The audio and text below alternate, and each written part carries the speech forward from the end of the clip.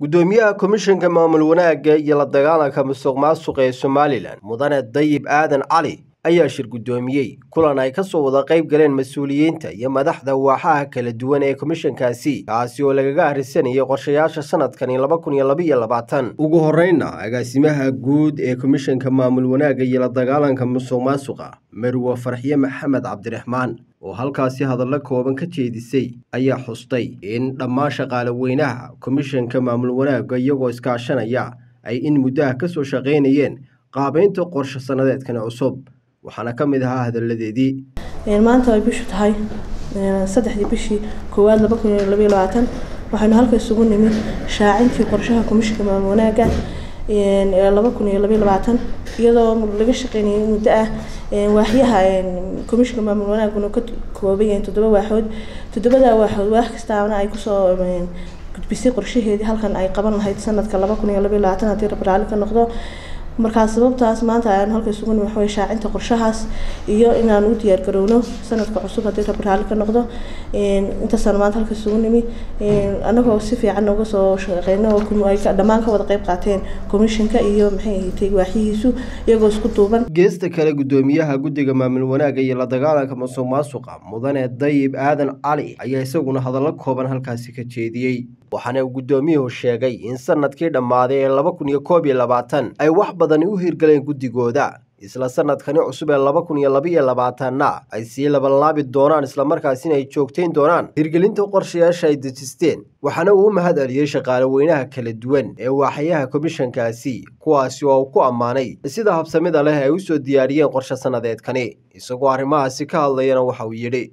Sida agaasimaha guud iyo agaasimaha waxda qorsheyntu ay sheegeen komishanku wuxuu ka shaqeynayay imanka bishii ugu dambeysay inuu diyaariyo qorshe howleedkii komishanka maamulnaaga ee labada kun iyo labaiy labaatanka.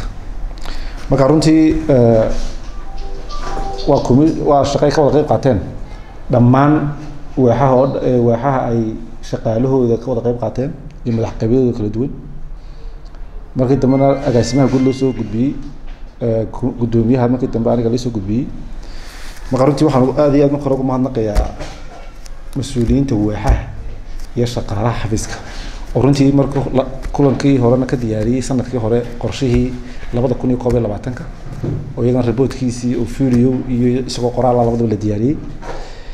Marka ujeedada kulanka horta kaasuu ahaa kulan qorshahan waxaa laga sameeyey istiraatiijiyadda guud ee saddexda sana ee komishanka maamulnaaga oo runtii qaabilsan oo la xidhiidhsan n d b two amba qorshaha horumarinta qaranka ee labaad ee nimanka dhammaanaya ayuu qorshahani ka dhashay.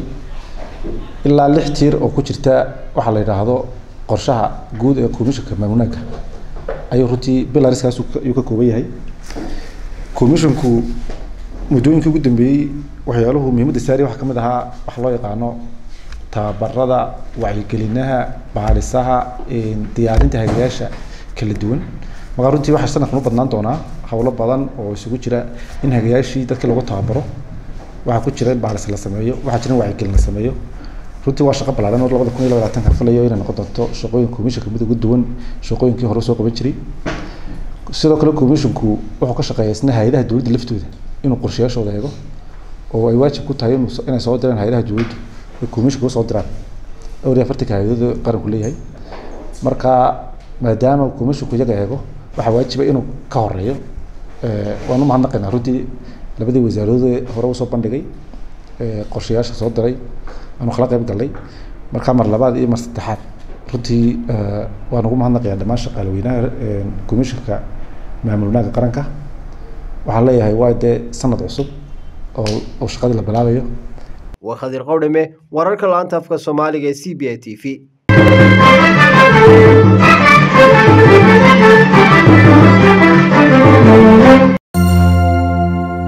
hadal. Oo hadal. Oo ku hadal. Bishii oo dhan. Toddoba dollar. Oo keliya. Ku darso fariin kasta oo aad dirtaana waa kuu bilaash isticmaal shabakadda ugu ballaadhan geeyiga somalilan haddaba si aad ugu shubato adeega kaafiye fadlan garaac xidig siddeed eber siddeed afargees ama xidig laba eber laba afargees tayo! Waa telesom